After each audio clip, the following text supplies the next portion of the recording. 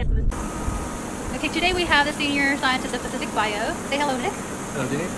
So, Dr. Nicolas, I heard that um, astaxanthin is one of the most potent antioxidants in the whole wide world. Do these species, Haematococcus pluvialis, produce astaxanthin in the first place? So it's a cell protective mechanism.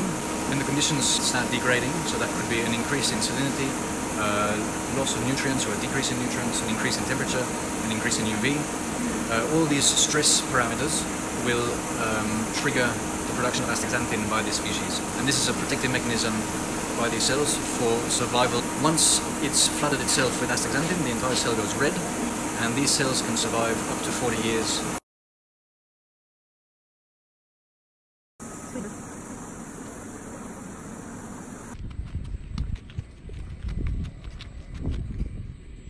Can you compare that to, say, vitamin C's or CoQ10, for instance? Um, it's about 6,000 times stronger than vitamin C and about 800 times stronger than uh, coenzyme Q10, so particularly powerful uh, product. The particularity with astaxanthin is that it sits across, when we consume it, it sits across our um, cell membranes, providing antioxidant protection outside the cell, inside the cell, and within the membrane itself. Whereas, for example, vitamin C will sit exclusively on the outside of our cells and provide localized antioxidant capacity there. Whereas uh, beta carotene is another example which actually goes and sits within the cell membrane.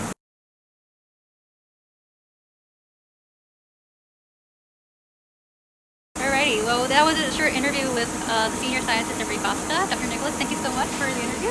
Thank you.